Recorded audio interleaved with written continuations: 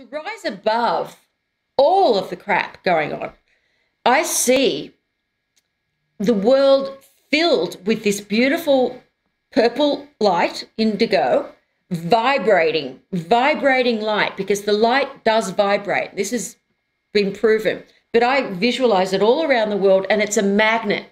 And it is magnetizing up into it all of the negativity, all of the fear, and dissolving it. Because everything that's happening is it's just too surreal.